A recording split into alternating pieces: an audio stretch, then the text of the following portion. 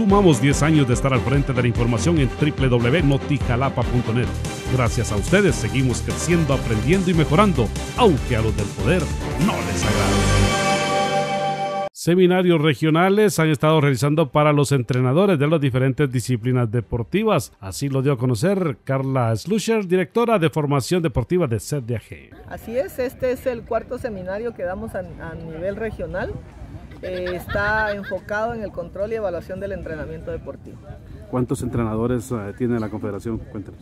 Bueno, de los que están, eh, podríamos decir, en, en, el PAD, que como se le llama en CAG, hay alrededor de 600 eh, tantos entrenadores, pero a nivel nacional nosotros sabemos que hay muchos más entrenadores eh, que participan de alguna u otra forma en cada una de las asociaciones deportivas departamentales, ¿verdad? Y que muchos a veces son voluntarios que trabajan con, con, eh, con estas asociaciones o trabajan en algunos clubes.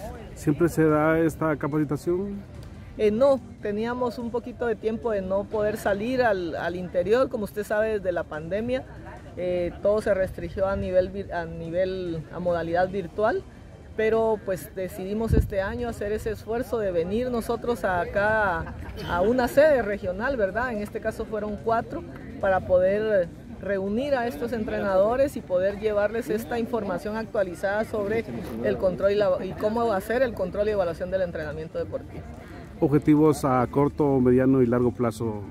Bueno, nosotros esperamos que cada uno de, los entrenadores que estuvo en estos seminarios puedan aplicar con sus atletas cada una de las pruebas y evaluaciones que se desarrollaron y que con esto también puedan llevar un control adecuado en su planificación de todas las evaluaciones que deben de realizar con sus atletas.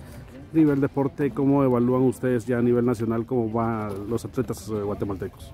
Bueno, yo no, yo trabajo en el área de formación, no podría darle un dato exacto, ¿verdad? Pero creemos y consideramos que eh, pues el nivel de los, de los atletas ha ido mejorando bastante y creo que aquí lo que toca es el compromiso de cada entrenador, ¿verdad? Estar actualizado, de formarse eh, para que este desempeño y rendimiento de los atletas cada vez sea mucho mejor.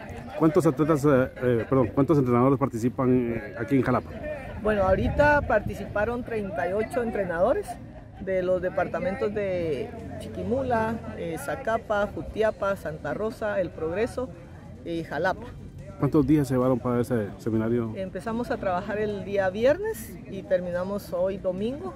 Eh, fueron dos días y, medio, podríamos decir, de trabajo intenso, pero que muy, muy consideramos que muy oportuno y que eh, realmente va a fortalecer estos conocimientos.